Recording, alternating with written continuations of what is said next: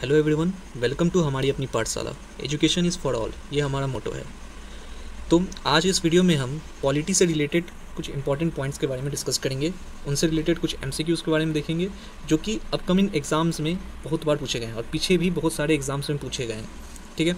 तो इनसे रिलेटेड ही इनके पॉइंट्स के साथ हम कुछ और भी पॉइंट्स को ऐड करके समझेंगे. तो प्लीज़ इस वीडियोज़ को ध्यान से देखिएगा, ध्यान से सुनिएगा इसे, ताकि आपको इससे रिलेटेड बहुत सारे जो फ़ायदे हैं वो आपको एग्ज़ाम्स में डायरेक्ट दिखेंगे, ठीक है? तो आगे बढ़ते हैं। इससे पहले कि आगे बढ़ें हम, अगर हम, आप हमारे वीडियो को पसंद करते हैं तो इसे प्लीज़ लाइक करें, इसे और दोस्तों के साथ शेयर करें, ताकि ये वीडियो ज़्यादा से ज़्यादा तक लोगों तक पहुँच सके और एग्ज़ाम में ज़्यादा से ज़्यादा लोग इसका फ़ायदा उठा सकें। और हमारे चैनल को सब्सक्राइब करें साथ साथ बेल आइकन जोड़ दबाएँ, ताकि आने वाले टाइम में हमारे वीडियो की नोटिफिकेशन आप तक आसानी से पहुँच जाए। चलिए फिर शुरू करते हैं आगे। तो पहला जो पॉइंट है हमारा, वो पॉइंट है पीएम के अपॉइंटमेंट से लेकर यानी कि प्राइम मिनिस्टर के अपॉइंटमेंट से रिलेटेड अब प्राइम मिनिस्टर के अपॉइंटमेंट से रिलेटेड तो ये सबसे पहला है कि article deal with the appointment of prime minister तो प्राइम मिनिस्टर के जो अपॉइंटमेंट होता है, उस, वो कौन से आर्टिकल में है? तो वो है आर्टिकल 75 में। वो है हमारा आर्टिकल 75 में।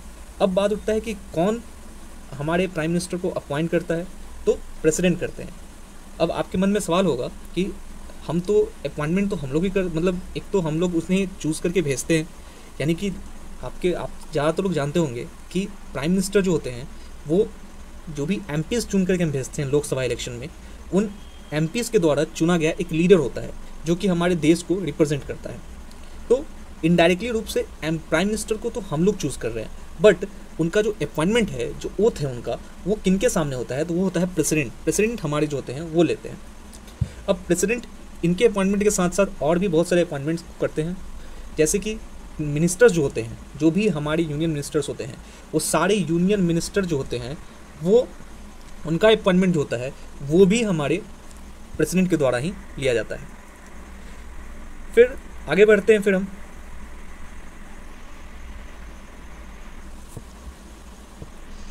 तो who shall communicate to the president of decision अब देखिए, ये जो आर्टिकल है आर्टिकल 78 आर्टिकल 78 अभी बहुत हाल ही में बहुत चर्चा में रहा है। क्यों रहा है? क्योंकि जब देश पे एक हम जानते हैं कि अभी के टाइम पे देश में कोरोना वायरस जैसी पैंडमिक फैली हुई है और इंडिया के साथ जो चाइना का अभी जो बॉर्डर टेंशन हो रहा था, उसमें भी हम लोग जानते हैं उसके बारे में।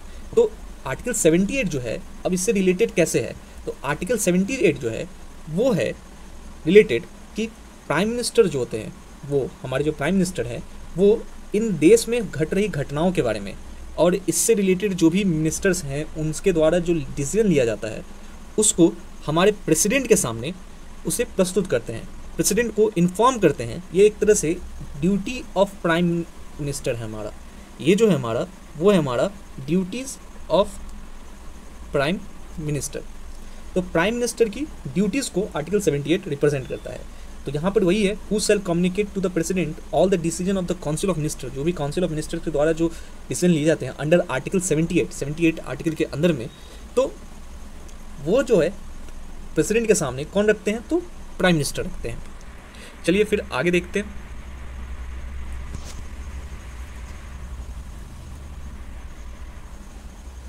The total number of prime of ministers including the prime minister shall not be exist 15 percent of the Lok Sabha यानी कि लोकसभा में जितने ज़्यादा मिनिस्टर्स हम नहीं रख सकते हैं। तो ये हमारा एक प्रोविज़न होता है। फिर नेक्स्ट है the supreme court of India present contains the following the thirty four जजेस तो एट प्रेजेंट जो है सुप्रीम कोर्ट में total thirty four number of जजेस हैं। अब देखिए नंबर ऑफ़ जज से रिलेटेड जो है, इसमें एक बहुत ही एक इंपॉर्टेंट अमेंडमेंट बिल आया था the supreme court amendment bill जो कि 2019 में आया था, यानी लास्ट ईयर आया था वो। इस वजह से ये न्यूज़ हमारे लिए इंपॉर्टेंट हो जाती है। अब 2019 में जो अमेंडमेंट बिल आया था, उसको प्रेजेंट किए थे हमारे उस वक्त के, यानी जो लॉ मिनिस्टर थे हमारे लॉ और जस्टिस मिनिस्टर जो थे मिस्टर रवि प्रसाद रविशंकर प्रसाद रविशंकर प्रसाद जो थे, वो उन्होंने प्रेजेंट किया था हमें। अब ये जो बिल है the supreme court amendment bill अब ये है क्या? तो ये जो है, वो अमेंड करता है सुप्रीम कोर्ट एक्ट 1956 को। 1956 में जो सुप्रीम कोर्ट एक्ट आया था, उसको ये अमेंड करता है। और ये जो रिलेटेड है, ये जो सुप्रीम कोर्ट अमेंडमेंट बिल जो रिलेटेड है, वो रिलेटेड है जजेस के अपॉइंटमेंट को लेके। जो जजेस है नंबर ऑफ़ जजेस को लेके है। अब नंबर ऑफ़ जज में इस एक्ट के अकॉर्डिंग कहा यह गया कि जो इससे पहले जो थे, वो सुप्रीम कोर्ट में मैक्सिमम थर्टी जजेस हुआ, हो सकते थे। बट इस एक्ट के बाद इस बिल के बाद इन जजेस की संख्या को बढ़ाकर थर्टी थ्री कर दिया गया, जिसमें कि थर्टी थ्री नंबर ऑफ़ जजेस हो जाते हैं और एक जो होता है, वो हमारा होता है चीफ जस्टिस जो हमारे चीफ जस्टिस होते हैं वो, यानी टोटल जो हो गया, वो हो गए थर्टी फोर नंबर ऑफ़ जजेस in the supreme court the supreme court में एट प्रेजेंट अभी के लिए कितने जजेस हैं? तो वो हैं थर्टी फोर जजेस हैं। चलिए, आगे फिर देखते हैं। अब है who appoint the chief justice and the other जजेस इन द सुप्रीम कोर्ट तो हमारे सुप्रीम चीफ जस्टिस और जो अदर जज होते हैं, उनका अपॉइंटमेंट जो होता है, वो भी लेते हैं हमारे प्रेसिडेंट लेते हैं। उनका भी अपॉइंटमेंट कौन करता है? तो प्रेसिडेंट करते हैं। अब आता है सवाल कि the power of supreme court तो सुप्रीम कोर्ट के पावर्स कौन कौन से हैं? तो देखिए, ये इंपॉर्टेंट है हमारा। सुप्रीम कोर्ट के जो डिफरेंट पावर्स हैं, उनमें सबसे पहला पावर जो आता है, वो आता है original and appellate just jurisdictions तो पहला है हमारा ओरिजिनल एंड एप्लीट जुडिडिक्शन दूसरा है अपॉइंटमेंट ऑफ़ एडहॉक जजेस और तीसरा है जुडिशियल रिव्यू ये तीन मेजर पावर हैं जो सुप्रीम कोर्ट के अंडर में आते हैं। अब सुप्रीम कोर्ट जो जजेस होते हैं, इन पावर्स को किस तरह से अप्लाई करते हैं? ये पावर जो होते हैं, किन आर्टिकल्स में आते हैं? तो उनके बारे में हम थोड़ा सा देखते हैं। तो जो हमारा ओरिजिनल जुडिडिक्शन होता है, वो आता है हमारा अंडर द आर्टिकल ऑफ़ 131 यह आता है आर्टिकल हमारा 131 में। उसी तरह से जो एप्लीट जुडिडिक्शन होता है। इससे रिलेटेड है हमारा आर्टिकल 132, 133 एंड 34 तो ये जो आर्टिकल्स हैं ये आर्टिकल्स हैं एप्लीट जुडिडिक्शन से। उसी तरह से अपॉइंटमेंट ऑफ़ एडहॉक जजेस जो आते हैं जो जिनको हम कह सकते हैं कि एडवाइजरी जुडिडिक्शन जो होता है जिसमें वो अपॉइंट करते हैं अदर जो एडहॉक जजेस होते हैं जो जज इनके अंडर में आते हैं उनको भी अपॉइंटमेंट करने का पावर जो होता है इनके अंडर में आता है। फिर रिव्यू जो होता है जुडिशियल रिव्यू इसमें यह आता है हमारा article one thirty four, thirty seven में। यह आर्टिकल आता है हमारा वन थर्टी सेवन में, जिसमें कि सुप्रीम कोर्ट को ये पावर होता है कि वो किसी भी लॉ जो भी लॉ जो है, वो लेजिस्लेचर से जो पास हुआ है, जो भी हमारे, से जो भी हमारे असेंबलीज हैं, उनसे जो पास हुआ है लॉ उसको रिव्यू करने का भी पावर जो होता है, वो सुप्रीम कोर्ट के अंडर में आता है। चलिए फिर आगे शुरू करते हैं। The article of the constitution provide the consumption and jurisdiction of the supreme court at article 124 तो जो भी कॉन्स्टिट्यूशन ऑफ़ इंडिया है, उसमें कंपोजिशन एंड जुडिडिक्शन के लिए जो सुप्रीम कोर्ट को प्रोवाइड किए गए हैं, जो भी तो वो प्रोवाइड किया गया है हमारा under the article of 134 next है हमारा the national judiciary appointment commission अब देखिए, ये इंपॉर्टेंट है हमारा। एन जे ए सी इसको पहले समझते हैं। The national judiciary appointment commission अब इसका मेन काम क्या है? तो ये है क्या सबसे पहले? तो ये एक बॉडी है जो कि रिस्पॉन्सिबल होता है जितने भी अपॉइंटमेंट्स होते हैं या फिर ट्रांसफ़र होते हैं जजेस का इवन द हायर जुडिशरी में, जो भी हायर जुडिशरी में जो भी अपॉइंटमेंट और ट्रांसफ़र्स होते हैं, वो इस बॉडी के थ्रू होता है, जिसके जो मेन जो उसमें जो मेन रोल अदा करते हैं, वो करते हैं हमारे चीफ जस्टिस ऑफ़ इंडिया उसके अलावा सुप्रीम कोर्ट के दो सुप्रीम कोर्ट जजेज होते हैं सीनियर मोस्ट सुप्रीम कोर्ट जज होते हैं, वो और union ministry of law and justice यानी जो हमारे जुडिस जो हमारे मिनिस्टर हैं of minister of law and justice वो भी इस इस कमीशन के हमारे जो होते हैं, वो एक मेंबर होते हैं। तो नेक्स्ट आगे देखते हैं फिर। द प्रेजेंट चीफ जस्टिस अब देखिए ये है इंपॉर्टेंट कि प्रेजेंट चीफ जस्टिस जो हैं, वो है हमारे शरद अरविंद बोबड़े। ये जो है, वो हमारे forty seventh chief justice of India हैं। इनसे पहले कौन थे? तो हम लोग जानते हैं कि इनसे पहले फोर्टी सिक्स जो थे, वो थे justice Ranjan Gogoi. Chief justice Ranjan Gogoi थे, जिन्होंने अपने पूरे कैरियर की सबसे जो आज तक की जो सबसे कंट्रो जो सबसे कंट्रोवर्शियल कह लीजिए, या फिर जो सबसे ज़्यादा जो इम्पोर्टेंट उनका जो जजमेंट था, वो था अयोध्या को लेके। जिन्होंने अयोध्या के जजमेंट दिया था, वो थे हमारे जस्टिस रंजन गोगोई। उनका अभी रिसेंट में आया है, उन्होंने कहा है कि उनके पूरे जो आज तक के जुडिशरी हिस्ट्री का सबसे फिसेरी कंटेस्टेंट केसेज जो मिस था यानी जो सबसे ज़्यादा डिबेटेबल था जिसमें लोग जिसके जो जज जो भी हमारे जो लॉयर्स थे वो काफ़ी शिद्दत से उसका डिबेट करते थे उस, उस उसमें। और वो इंडिया का सबसे इंपॉर्टेंट केस भी था हमारे लास्ट ईयर जो कि था राम मंदिर का केस तो उसका सुनवाई उसकी जो डिसीज़न है उन्होंने वो डिसीज़न अंडर रंजन गोगोई के अंदर लिया गया था अंडर लिया गया था जिसमें पाँच बेंच की जज थी जिन्होंने उसके सुनवाई की थी। तो इसलिए वो इंपॉर्टेंट है हमारे। अभी जो करंट हैं वो हैं शरद अरविंद बोबड़े जो कि फोर्टी सेवन्थ है। अब आते हैं आगे। The article of the Indian constitution which deal with the constitution of the parliament of India the parliament of India के बारे में कौन बताता है? तो आर्टिकल 79 जो होता है, वो पार्लियामेंट के बारे में बताता है। अब इसमें मेन क्या है? आर्टिकल 79 को समझते हैं। आर्टिकल 79 जो है, वो एक council of parliament of the union consist जो यूनियन के अंदर जो भी पार्लियामेंट आते हैं, जो पार्लियामेंट में कौन कौन आ गए हमारे तो उसके अंडर में हमारे प्रेसिडेंट आते हैं। उसी के अंडर में हमारा जो हाउस होते हैं, जो दो हाउसेज है हमारे the council of state house जो कि हम जिसको हम राज्यसभा कहते हैं और काउंसिल जो हमारा, जो भी है हाउस ऑफ़ पीपल जिसको हम लोग लोकसभा करते हैं तो ये दोनों जो है, वो आर्टिकल 79 के अंडर में आते हैं। नेक्स्ट है हमारा the article deal with the composition of the Rajya Sabha अब राज्यसभा को और उसके मेंबर्स के बारे में जो आर्टिकल डिस्कस करता है, वो है आर्टिकल 80 नेक्स्ट है हमारा। अब देखिए राज्यसभा से अभी जो इंपॉर्टेंट है कि Rajya Sabha the representative of Rajya Sabha are elected by किसके द्वारा वो इलेक्टेड होते हैं? राज्यसभा के जो मेंबर हैं, वो किसके द्वारा इलेक्टेड होते हैं? तो वो इलेक्टेड होते हैं हमारे स्टेट लेजिस्लेटिव असेंबली के जो मेंबर्स होते हैं, जो हमारे विधानसभा के मेंबर्स होते हैं, जो राज्य में विधानसभा होती हैं, उनके जो मेंबर्स होते हैं, उनके द्वारा इलेक्टेड होते हैं ये राज्यसभा के मेंबर्स ठीक है? अब कितने मेंबर्स हैं टोटल राज्यसभा में? तो उनकी संख्या है अभी टू थर्टी एट जो कि यूनियन टेरेटरी के द्वारा जो भी जो भी हमारे जो स्टेट लेजिस्लेटिव हैं, उनके द्वारा चुनकर आते हैं। वो है टू थर्टी एट और इसके अलावा राज्यसभा में बारह और मेंबर हैं, जो कि डायरेक्टली नॉमिनेट होते हैं प्रेसिडेंट के अंदर। नॉमिनेटेड जो होते हैं, जो प्रेसिडेंट के द्वारा जो नॉमिनेशन किया जाता है, उसमें भी ये प्रेसिडेंट का एक इंपॉर्टेंट पावर है, जिसके अंदर वो राज्य, जो देश भर के जो प्रतिष्ठित लोग होते हैं, जो बहुत इंपॉर्टेंट लोग होते हैं, जिन्होंने अपने फ़ील्ड में बहुत अच्छे अच्छे काम किए होते हैं, उनसे ये बारह मेंबर्स को चुनकर डायरेक्ट राज्यसभा में भेज सकते हैं। अब राज्यसभा से रिलेटेड कुछ और भी पॉइंट देख लीजिए। जैसे कि जो अभी करेंट चेयरमैन है राज्यसभा के, वो है हमारे मेनखाज नायडू वेंकैया नायडू। तो वेंकैया नायडू जो है, वो हमारे अभी करंट राज्यसभा के जो हमारे जो चेयरमैन है, वो हैं। उसी तरह लोकसभा के चेयरमैन जो है, वो है ओम बिरला। तो ये दो चेयरमैन के बारे में आप याद रखिएगा कि लोकसभा के जो चेयरमैन है, वो ओम बिरला है और राज्यसभा के चेयरमैन जो है, वो वेंकैया नायडू है।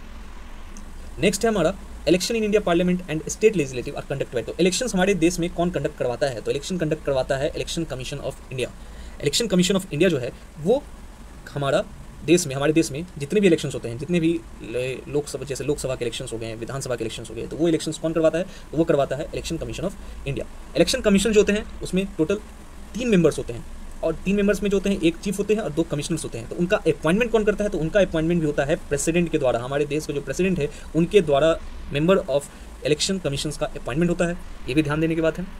अब देखिए, इनसे related election commission of India से रिलेटेड एक और बात आपको जाननी चाहिए जो कि अभी के जो चीफ ये करंट हमारे न्यूज़ में था आ, इसी इसी साल न्यूज़ में 2020 के न्यूज़ में था ये हमारा जिसमें करंट अफेयर्स में के न्यूज़ में है कि इसके जो चीफ चीफ जो इलेक्शन कमीशन है जो चीफ है chief of election commission mister Sunil Arora वो हमारी इस साल काफ़ी चर्चा में चर्चा में रहे थे।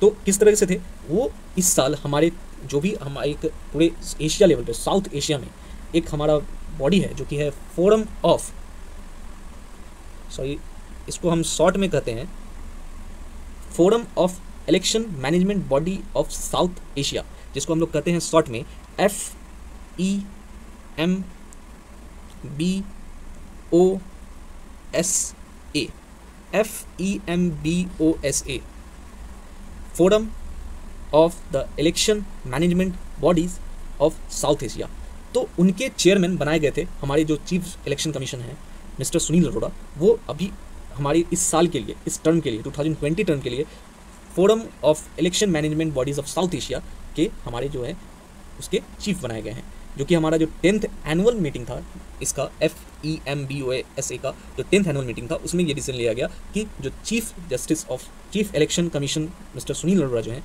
वो वहाँ के न्यू चेयरमैन बनाए गए हैं। तो ये इसलिए भी ये इंपॉर्टेंट न्यूज़ है हमारा। चलिए, आगे देखते हैं। The article of election commission India था इलेक्शन कमीशन किस आर्टिकल के अंदर में आता है तो ये भी जान लीजिए आर्टिकल 324 के अंदर में आता है। अब नेक्स्ट है हमारा number of seat reserve by the schedule caste and Lok Sabha Lok Sabha में शेड्यूल कास्ट के जो रिज़र्व सीट हैं, वो हैं एटी फोर शेड्यूल ट्राइब्स की जो सीट हैं, वो हैं फोर्टी सेवन जो रिज़र्व सीट्स हैं, ये भी ध्यान दीजिएगा। नेक्स्ट है the article consider the electoral system जो हमारे देश में इलेक्शन होते हैं तो वो किन, किस आर्टिकल के अंडर में आते हैं? तो जो भी जितने भी इलेक्ट्रोल सिस्टम है हमारे देश का, जो हमारे provision for the electoral system जो है, वो आता है हमारा आर्टिकल 324 से लेकर 329 के बीच में। नेक्स्ट है हमारा the election for the Lok Sabha कितने सालों पर होता है? तो सबको पता है ये पाँच साल के लिए होता है हमारा। अब ये इंपॉर्टेंट है, दो जो लोकसभा के जो दो, आप कह सकते हैं कि जो सेशंस हैं, जो लास्ट सेशन और जो न्यूली सेशन है जो नया सेशन आता है तो उनके बीच का जो मैक्सिमम ड्यूरेशन होता है, वो होता है सिक्स मंथ का। सिक्स मंथ का मैक्सिमम होता है। उससे ज़्यादा का ड्यूरेशन लोकसभा के दो सेशंस के बीच में नहीं रख सकता है। दूसरा लोग इसके अगर ऐसा जोड़ी पड़ता है बीच में, ऐसा कभी बहुत ज़्यादा जोड़ी होता है तो भी नहीं होता ऐसा। और उस केस में जो प्रेसिडेंट होते हैं, वो टाइम टू टाइम हमारे सेशंस को बुला सकते हैं। ये उनके पास राइट होता है।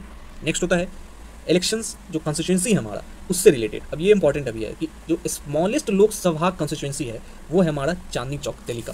दिल्ली का जो चांदनी चौक एरिया है, वो हमारा स्मॉलेस्ट लोकसभा इलेक्शन है बाई एरिया ये ध्यान दीजिएगा आप लोग कि एरियाज़ के लिए जो स्मॉलेस्ट कॉन्स्टिट्यूंसी है, वो है चांदनी चौक। और एरिया के लिए ही जो लार्जेस्ट है, उसका नाम क्या है? तो एरिया के लिए जो लार्जेस्ट है, जो अभी तुरंत बना है हमारा लद्दाख कॉन्स्टिट्यूंसी वो है हमारा एरिया में largest constituency according to area जिसमें कि गिलगिट बलिस्तान जो है और इस अक्साई चीन जो होता है, इसी के अंडर में आता है। जो लद्दाख अभी बहुत फ़ेमस था, अभी जो बहुत रिलेटेड है, अभी बहुत ज़्यादा न्यूज़ में है। जब वो गलवान वैली और इसके बीच जो घटना हुई थी, हमारी जो इंडिया और चीन के बीच में जो अक्साई चीन में जो भी स्टैंड ऑफ़ हुआ था इस वजह से भी लद्दाख इंपॉर्टेंट है। इसके साथ साथ आप ये भी याद रख सकते हैं इसके अलावा भी कि जो हमारा स्मॉलेस्ट है, जो कि नंबर ऑफ़ वोटर्स के अकॉर्डिंग जो है, वो स्मॉलेस्ट कौन है? तो उसमें आता है नंबर ऑफ़ वोटर्स के अकॉर्डिंग लक्षद्वीप आता है हमारा। लक्षद्वीप जो होता है, वो नंबर ऑफ़ वोटर्स के अकॉर्डिंग हमारा स्मॉलेस्ट कॉन्स्टिट्यूंसी है। उसी तरह लार्जेस्ट कॉन्स्टिट्यूंसी कौन होता है जिसमें नंबर ऑफ़ वोटर्स के थोड़ी हो जाए? तो लार्जेस्ट में आते हैं हमारे नंबर ऑफ़ वोटर्स के थ्रू जो होते हैं, वो आता है हमारा आंध्र प्रदेश का कोई कॉन्स्टिट्यूंसी है, मैं भूल रहा हूँ उसका नाम तो एक वो है लार्जेस्ट में आता है। चलिए आगे देखते हैं हम लोग। लास्ट जो है हमारा, वो है union budget of India is referred in the article the union budget जो होता है, जो हर साल जो यूनियन बजट आता है, वो इंडिया जो किस आर्टिकल के अंडर में आता है तो वो आता है article one hundred twelve one hundred twelve के अंदर में ये आता है हमारा तो इसी के साथ हमारा वीडियो जो होता है वो समाप्त होता है। Thank you very much for watching चलिए।